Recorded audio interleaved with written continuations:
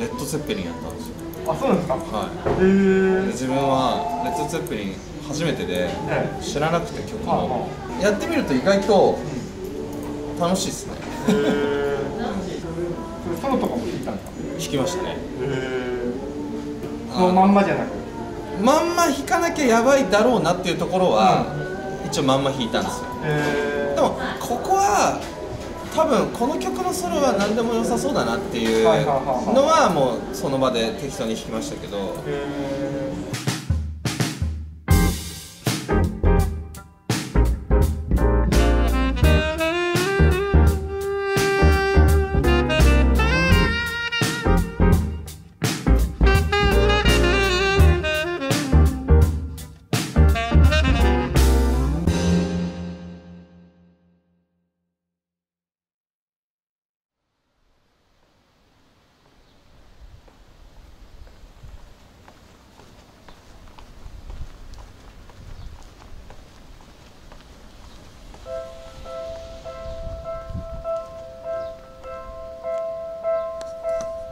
疲れ様です。今日は8月18日です、はい、今日はね、えー、豪徳寺のモカさんで髪の毛をまたやってもらってきます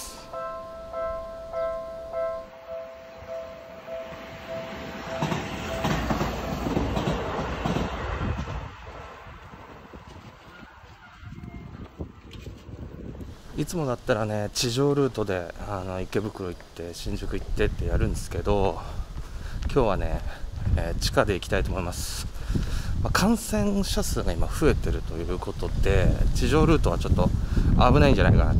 この時間結構ね混んでるんですよね。特に池袋とかね。大江戸線だったらまだマシかなっていう仮説でとりあえずね行ってみます。今日は暑いっすよ。お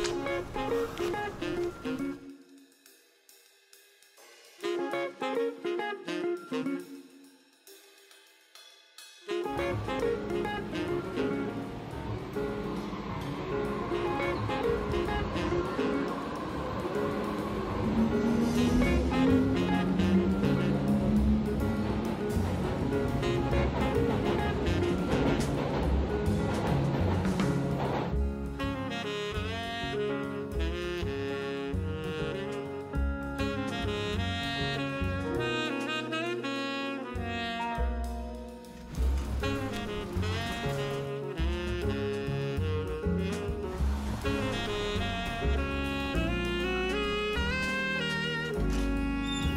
うございます。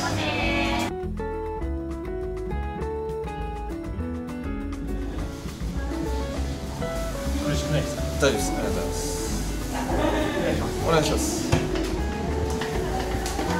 ちょっと短めのがいい。そうですね。暑いし。はあちょっと短めにしましょうい。あそういえばこの間誕生日だったんですおめでとうございます。あありがとうございます。最初に味噌作った時って誕生日の日でしたっけ？お疲れ様です。今日は7月28日です。今日はいよいよ味噌作りですね。めっちゃ大変でしたよ、大変ですよね。誕生日おめでとうございます。あありがとうございます。います。すごい柔らかい。おいいじゃん。いやうちの方が柔らかいな気でもが私のは柔らかいか多分最初の時があのポテトサラダみたいだったじゃないですか。はい自分が作った時。はあれあれで美味しかったんですけどちょっと固めだったんですよ。今回は結構しっとりとしてて美味しいですね。この間渋谷でライブがあったんですけどあややったんですね？はい。あそうそう結局やって。これは決まってるなっていうやつはこの曲と言ったらこれみたいな。うんそれはちゃんとやりました。ねへでもそれも分かんないじゃないですか、い。なんかその自分もずっとファンだった知らねはいね。はい。はい。これは大事なソロだとか判断つくけど本当初めましてだったからはファンの人からしたらもしかしたら「いやお前はそこなんでそれやっちゃうの?」みたいな「ちゃんと弾いてくれよ」みたいなのもあるかもしれないんでいろいろライブとかをその本人のやつをいろいろ一応見てあ本人も適当にね毎回弾いてんなってそのレコードとは違うなっていうんだったらじゃあまあいいのかみたいな。えある程度でいいかみたいな。初めてまあ聞くわけじゃないですかほそうですほぼほぼ。ね初めてですよね。それを練習するんですか？練習しますよ。まず譜面を書いて、ええ。その伴奏のフレーズもなんかリフみたいになってるし、はそれを練習しますよね。で普通に最初あの耳で聞いて、はこの音かなって言ってやるんですけど、はでもやっぱそれっぽくなんないんですよ。多分弾き方が違うから、音は合ってても、はなので YouTube 今度は検索してあその弾き方の。弾き方のやつ解説してる人、は何人も見て、は何何個も試して一番それっぽくなるやつとかえ。それやってで練習してみたいな感じです。だから結構大変ですよね。レッド・ツェッペリンのカバーバンドを趣味でやってる人たちなんで、彼らは多分ものすごい愛を持って多分やってるじゃないですか、好きでやってるじゃないですかある程度それっぽくこっちも作っていかないとちょっと失礼になっちゃうと怖いんで音作りもうん。それっぽくしてえ自分がロック的なやつでやる音色よりもジミー・ペイジの音に近づけてこんな感じかなみたいな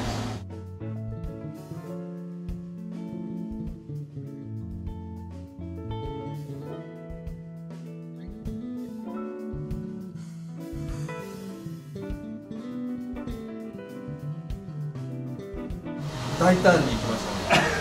ー ちょっとはい。ハードに今回は、い。やいいと思いますはい。このこの差をつけたかったんで。はいはいはい。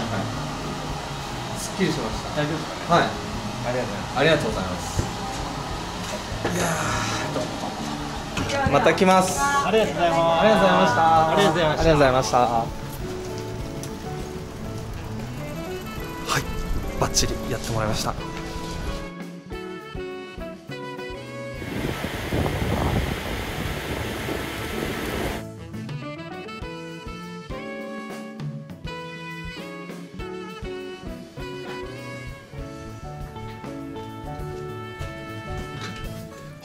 戻ってきました。今回もビシッとやってもらいました。で、えー今日はね特にレッスン入ってないんですよ。なので、まあ、ゆっくり動画を編集してで事務作業やってみたいな感じですかね。帰りね一瞬ゲリラ豪雨みたいなやつにやられましたね豪徳寺で。でもエコダの方は全然平気だった。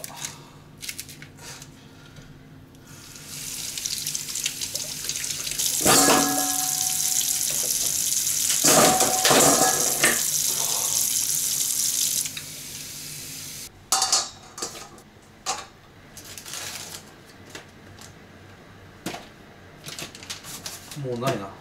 来週ですねあのモカさんのオーナーさんとデイキャンプに行く予定なんですけどちょっとね川が今危ないんでこう雨でさちょっと水量が増えてたりするじゃん。えっとまだわかんないけど様子見だけど一応ね来週行く予定です。でちょっと釣りしたいですねみたいな話になって。できたらね釣りやりたいな。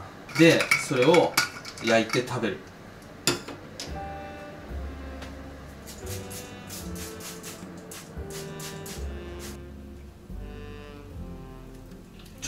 釣り竿探しちゃおうかな。キャンプに持ってけるなんかこうちっちゃい釣り竿とかってあんのかな？なんか釣りいろはとか見てるともちろんね海ですごいこうなんていうのいい竿使ってやってるっぽいけどさ。キャンプに持っていく竿ってどんなんなんだろうな。なんか100均の竿でもいいみたいな感じのことでしたけどいやそこはどうなんですか？ちょっとこだわった方がいいんじゃないですか？って気がするんだけど。おちっちゃいのあるな。渓流竿ルアーフィッシング入門セット。カタログじゃサイズ感がわからん。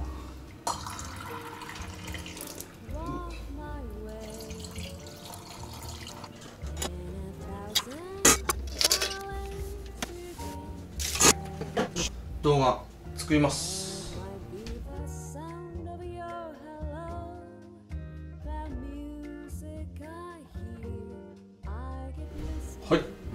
まだ編集がね、え1本しか終わっておりません。明日のやつをねちょうど作り始めたんですけど一旦小腹が空いたんで早めの晩ご飯をいただきたいと思います。なんなら晩ご飯食べてちょっとお散歩行きたいなっていうぐらいですね。でまたねあれやりますよ。オートミール。今日は本格的におかゆ作ります。本格的におかゆってえまあお茶漬けとかやってたけどあとはかつおだし入れてとか。ちょっとねもうちょいね料理っぽくやってみようかなと思いましてちゃんと調理しようと思います。えっ、ー、とこれは使わない今日は。お味噌汁があります。でどうするかっていうとオートミールを普通にこれでグツグツしてそこに卵を入れて。でさらにはい。白だし。はい。そしてちょっとだけごま油。卵雑炊みたいな感じのもの。というわけで調理していきます。なんか電子レンジでチンとかもいいんだけどさなんかその作ってる工程がちょっとねあのタッパーに入れてなんかやってる感じがさマトリックス感があってさうんなんか料理してる気がしない。おいで180ですね、はい、150ちょいみたいなぐらいで火にかけます。あさらに白だしをちょろぐらい。ごま油最後風味付けみたいな感じで。ラー油とかでもいいかもしれないけど。卵です。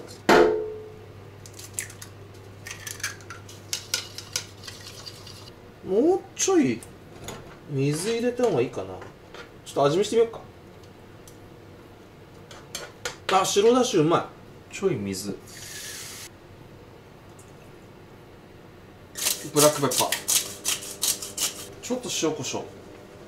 でここに卵。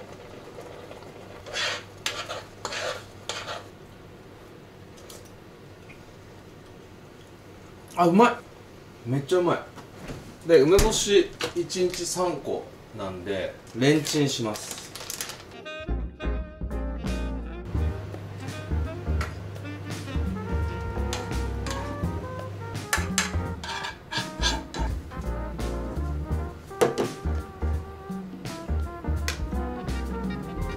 どうすかこれ。ちょっとごま油。できました。卵雑炊オートミールです。いただきます。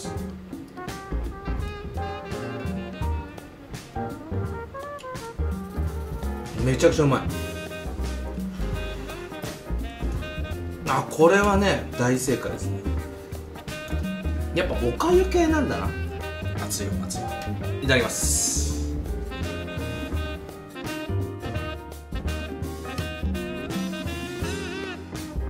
はいちょっと涼しくなってきたんで久しぶりにウォーキング行きたいと思います。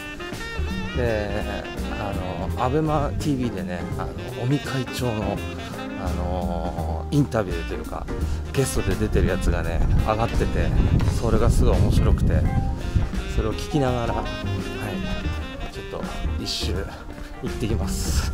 いや涼しくなってきてよかった。